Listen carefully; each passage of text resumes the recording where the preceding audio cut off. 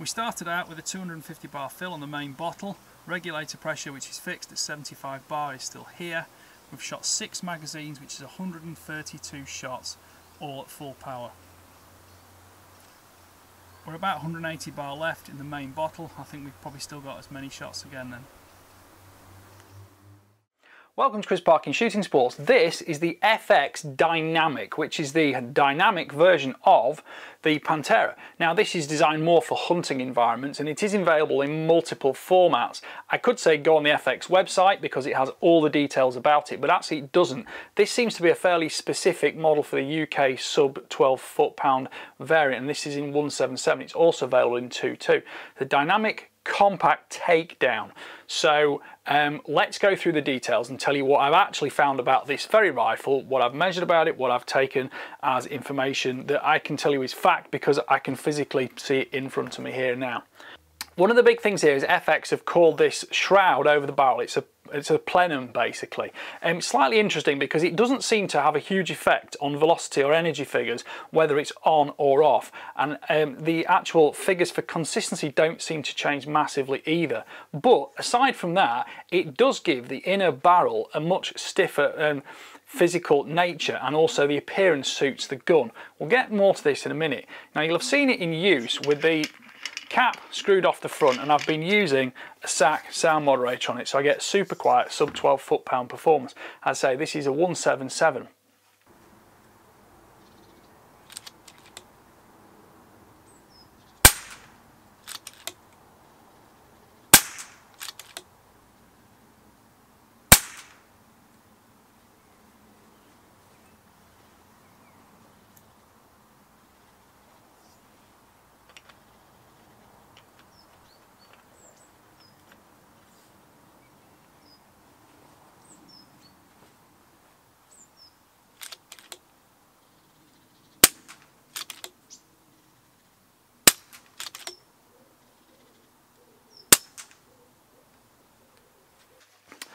Now this has got the AMP regulator and it's also got the smooth twist barrel liner, so something that's fairly familiar to a lot of FX users. Looking at more of the details about it, you've got a 20 MOA Picatinny rail, and on the left side we've got regulator pressure, which on this sub 12 set about 75 bar, and the actual fill bottle pressure, which goes up to 250 bar max fill. I've been shooting it from 250, and I've had 10 magazines worth, which is 220 shots, more about in a minute. 10 magazines, 220 shots, until I've got down to this point here. It's about 130 bar max pressure. That's where you do start to notice the power of the actual projectile drop off.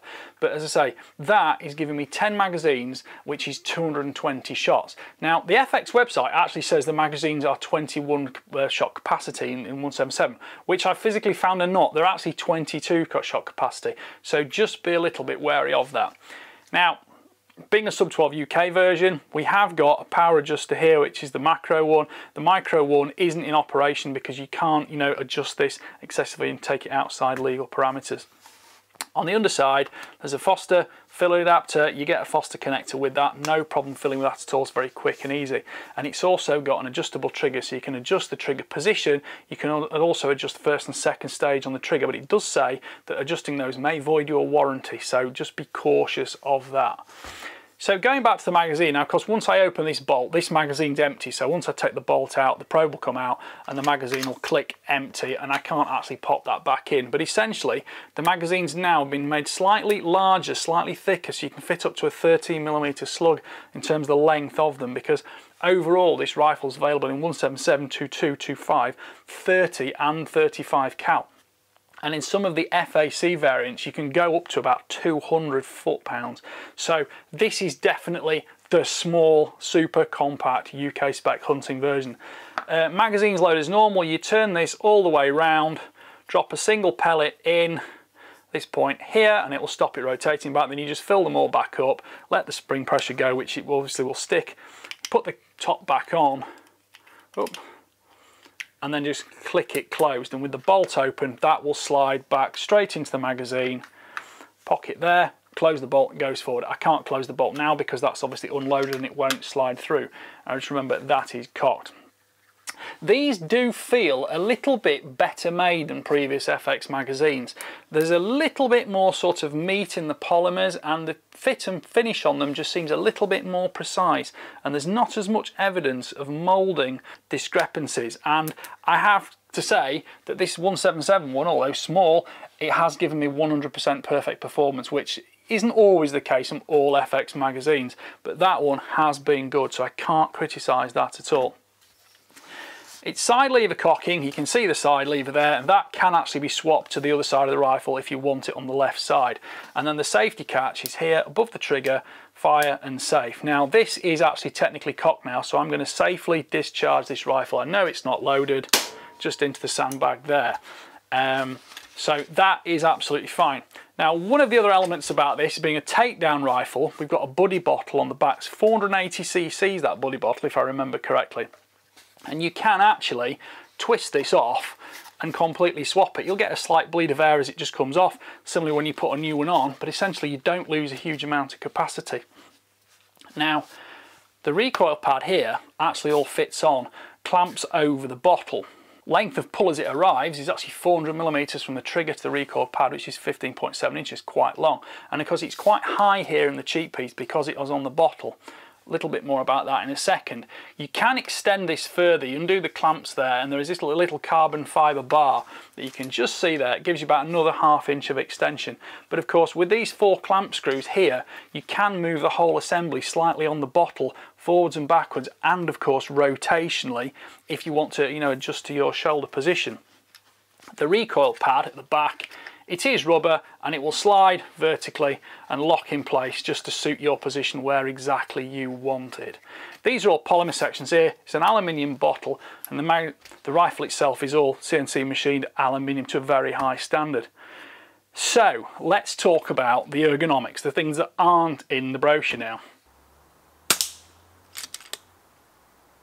Overall length is 804 millimeters or 31.7 inches. Overall weight is 3,125 grams or 6.9 pounds. The barrel is 400 millimeters long, which is 15.7 inches. Length of pull is 400 millimeters, which is also 15.7 inches. Now, what strikes me about this rifle is, yes, it looks very complicated, but it's one of the most simple FX I've seen. I kind of like the fact it's not super adjustable. That is because it's a sub 12 uh, and not the FAC spec, which is more common to the European or overseas in, in America, for example. But what it does allow is it just allows a nice simple hunting point and shoot rifle. Although you've got 23 settings here for power level, I don't think anybody's going to venture below 12 foot-pounds in the UK. Uh, I don't remember the figure off the exact top of, the top of my head exactly, but it will show you on the um, FX chronograph readout what power it developed. Absolutely set up as factory with these various different pellet types.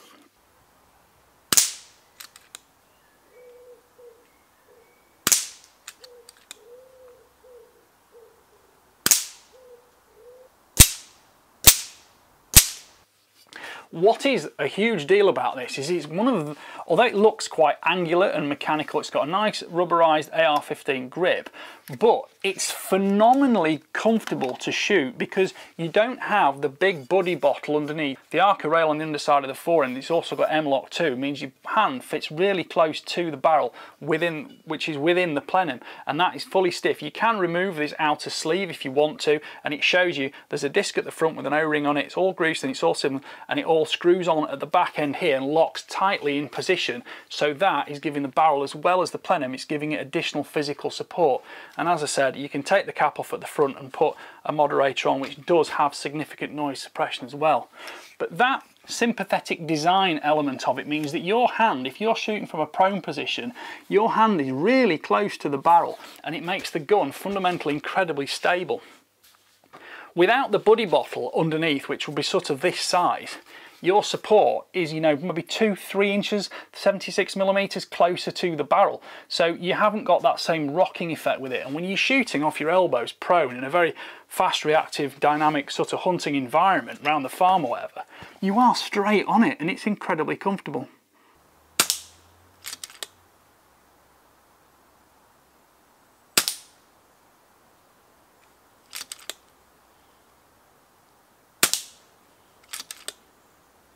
From that shooting position, as again you can see in the video, your fingers are just a flick away from the loading handle here and it is super smooth and it clicks very surely into position.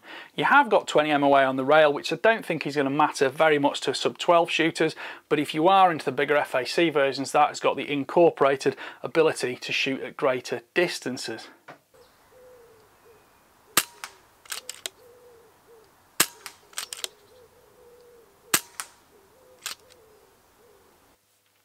The trigger is incredibly precise. It's a two-stage unit. It breaks at 337 grams, which is 12 ounces, but it is, as I said, adjustable. There's a detailed manual with it, and it does show you how to do that, but do beware of the actual warnings it gives you in the manual in a dynamic situation when you are hunting, dynamic in that you're hunting, static obviously in the fact you want to stay still while you are shooting, but you can stay on this rifle, you can operate the trigger incredibly easy and you can recock the rifle with the least disturbance possible just because it's got those excellent ergonomics.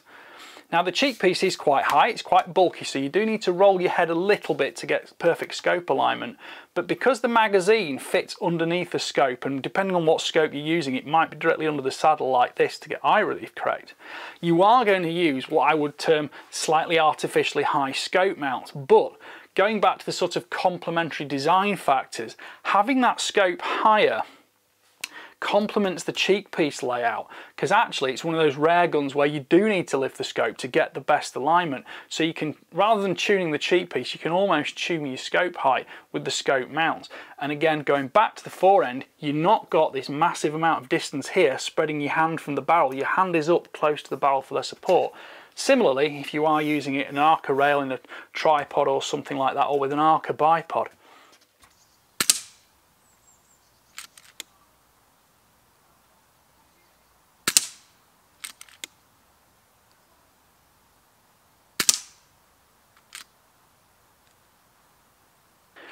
the rifle is totally ambidextrous to shoot. So even if you've got the lever on the right hand or the left hand, whichever is your normal preference, it's totally simple to swap it to the opposite side if that's the best support you've got for that particular shot in a hunting scenario.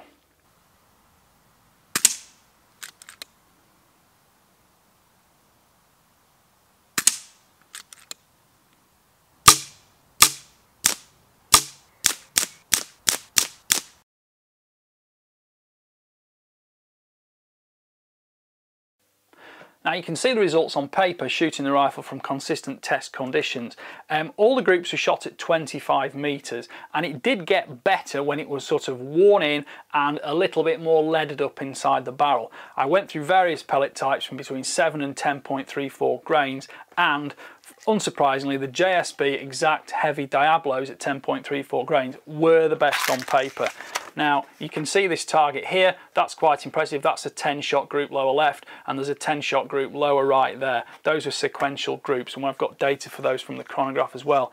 I do like the JSB Hades as well. They're the same weight, they'll give me the same energy and similar speed. Um, but I did find they were slightly less accurate for the paper target testing.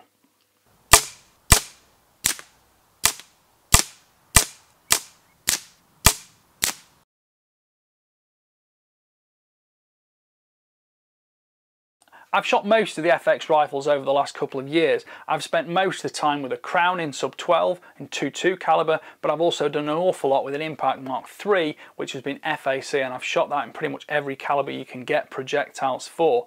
Those guns have been very effective, but I tended to favour the ergonomics of the crown a little bit because I'm more of the hunter than the paper puncher and I like the fact with the crown you can shoot it ambidextrous.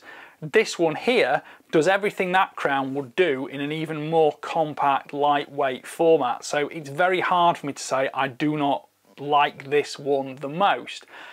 But I've got very used to the power of FAC air rifles now and I think in the longer term I'm going to try and get hold of one of these in at least 22 or 25 caliber FAC which I think are probably the best options for the UK and get some night vision ratting done with them.